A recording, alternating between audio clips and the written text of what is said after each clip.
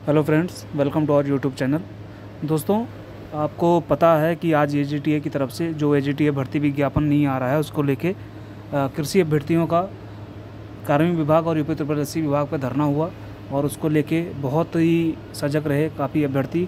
उन्होंने सचिव से बहुत सारे जवाब, सवाल भी पूछे, जिसका जवाब सचिव जी ने भी दिया और पूरी तत्परता से दिखाया। जो लोग आए थे, उनका बहुत बहुत धन्यवाद, पहली बात तो। सचिव जी ने किन क्वेश्चन के जवाब दिए और क्या क्वेश्चन अभ्यर्थियों के मन में थे? और क्यों नहीं आ, आ रही है भर्ती? इसके बारे में भी बात की है। सचिव जी ने बिल्कुल पूरी उम्मीद के साथ ये बताया है कि भर्ती आपकी आ, आ जाएगी जल्द ही आ जाएगी। इसके लिए निश्चिंत रहिए आप लोग अपनी तैयारी पे फोकस रखिए और आप इसके लिए बिल्कुल परेशान मत होइए। इसके लिए आयोग भी लगा हुआ है कि जल्द से जल्द वैकेंसी निकाले क्योंकि आयोग के ऊपर लोड बढ़ता चला जा रहा है वैकेंसियों का। और ऑलरेडी आप देख रहे हैं पेट में सैंतीस लाख फॉर्म भरे गए हैं। तो इस तरह से और पिछली वैकेंसियाँ भी जो कि पेट 2021 से हो जानी थी, वो भी नहीं हो पाई है। तो आयोग के ऊपर भी लोड बढ़ता चला जा रहा है। उसके बाद फिर पेट 2022 होने के बाद भी आयोग पे ही दबाव बनने वाला है कि ये वैकेंसियाँ पेट 2022 के अंतर्गत कौन कौन सी वैकेंसियाँ निकलने वाली हैं। तो दोस्तों, आपको बता दूँ कि ए की जो चौंतीस प्लस वैकेंसीज निकलने वाली हैं, वो पेट 2021 के द्वारा ही आएँगी। तो जो आप देख सकते हैं कि नीचे लिखा गया है, सिलेबस चेंज होगा या नहीं होगा पेट 2021 आए- से आएगी या 22 से आएगी या भर्ती कब आएगी तो इन सारे सवालों का जवाब जो है सचिव जी ने बिल्कुल बहुत अच्छे से दिया और बहुत अच्छा ट्रीट किया इस बार। और पिछले दो बार से देखा जा रहा है कि सचिव जी थोड़ा अच्छे से ट्रीट कर रहे हैं। तो दोस्तों इसमें सारे सवालों के जवाब आपको मैं दूँगा और कुछ धर्मों के वो भी देख सकते हैं आप। बहुत सारे कैंडिडेट तो नहीं आए थे बट आए थे।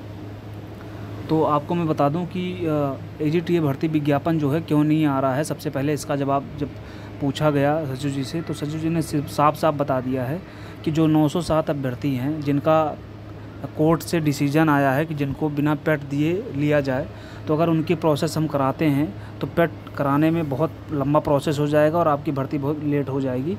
तो इस पर यही डिसीज़न लिया गया था कि 907 अभ्यर्थियों को डायरेक्ट मेंस दिलाया जाएगा।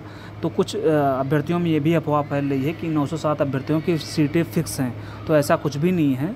इस अफवाह से बिल्कुल आप लोग दूर रहिए, वो भी आपकी तरह एग्ज़ाम देंगे। बस हाँ एक सहूलियत उनके साथ बढ़ती गई है कि उनको डायरेक्ट जो है मेंस एग्ज़ाम में बैठने दिया जाएगा।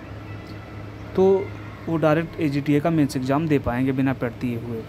बस यही है तो अब दिक्कत ये फंस रही है, सचिव जी ने बताया कि जो 907 कैंडिडेट्स हैं, उनका हमें अभी तक पूरी डिटेल नहीं मिल पाई है। इस वजह से वैकेंसी आपकी जो है नहीं निकल पा रही है, और ना ही इसका अप्रूवल कार्मिक विभाग से आ पा रहा है। यही रीज़न है कि वैकेंसी नहीं आ पा रही है। अगर उनका ये कहना था कि 907 अभ्यर्थियों की पूरी डिटेल अगर आज हमें मिल जाती है तो कल या परसों में आपका विज्ञापन एक से दो दिन में हम निकाल देंगे। तो जो कि अभी हमें पूरी डिटेल नहीं मिल पाई है, इस वजह से आपकी वैकेंसी लेट हो रही है विज्ञापन इसका, और कोई वजह नहीं है इसका विज्ञापन लेट होने का। तो जैसे ही हमें 907 अभ्यर्थियों की डिटेल्स मिलती है, आपका, आपको विज्ञापन देखने को मिल जाएगा। मे बी कि मंथ के लास्ट तक या अक्टूबर के 15 अक्टूबर के पहले आपको ये विज्ञापन देखने को मिल जाएगा। तो यही उनका जवाब था। दूसरी बात ये थी कि 907 अभ्यर्थियों की डिटेल आते ही आपका विज्ञापन आ जाएगा। ये उन्होंने साफ़ तौर पे कही है। और दूसरी बात ये भी कही है कि कल 21 तारीख है, कल एनसीआर की मीटिंग भी है, जिसमें सभी विभागों के जो सचिव होंगे, वो आएँगे। तो इसलिए आप लोगों को बिल्कुल निश्चिंत रहने की ज़रूरत है और बिल्कुल आप लोग तैयारी पे फोकस रखिए तो वैकेंसी आपकी आ जाएगी। कल एनसीआर की मीटिंग है लखनऊ में और उसमें सारे विभाग के अध्यक्ष आएँगे मतलब सारे विभाग के जो सचिव होंगे चीफ होंगे वो सारे आएँगे सब उसी मीटिंग में बैठेंगे और सबसे हर विभाग का जो भी पेंडिंग वर्क होगा या जो भी वर्क नहीं हो रहा होगा अभी तो वो सारे वहाँ पे पूछे जाएँगे और हर एक विभाग का निराकरण किया जाएगा। तो संभवतः ये हो सकता है कि कल कुछ रिज़ल्ट साम, सामने आ जाए। तो इस सवाल का जवाब उन्होंने इस तरह से दिया कि वैकेंसी आपकी कहीं भी और कोई दिक्कत नहीं है बस यही 907 अभ्यर्थियों की डिटेल मिलते ही आ जाएगी। और कल 21 तारीख को मीटिंग है तो उसमें हो सकता है कुछ रिज़ल्ट इसका आ जाए, क्लियर हो जाए। दूसरा ये है कि सिलेबस चेंज होगा कि नहीं तो उन्होंने साफ़ मना कर दिया, सिलेबस आपका बिल्कुल भी नहीं चेंज होने वाला है, जो जैसा पहले था वैसे ही रहेगा। फिर 2021 से ही आएगी वैकेंसी, इन्होंने बोला है।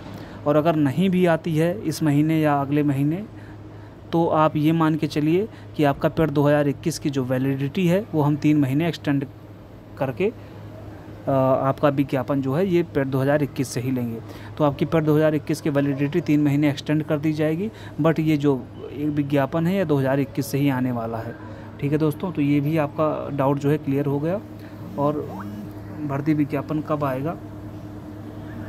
और भर्ती विज्ञापन कब आएगा, ये भी आपको पता चल गया। तो दोस्तों, इस हिसाब से ये जो जानकारी थी आपके सामने लाया हूँ। आपको अच्छा लगा हो तो प्लीज़ वीडियो को लाइक कीजिए, सब्सक्राइब कीजिए चैनल को और लोगों तक शेयर कीजिए। Thank you.